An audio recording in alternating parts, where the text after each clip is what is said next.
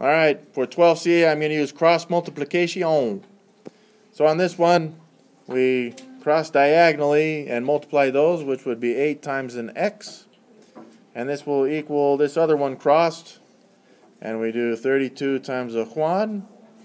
So we have 8x equals 32. And then we solve this like we would any regular equation by dividing both sides by x. I mean 8. So x would equal 4. Bam. Done.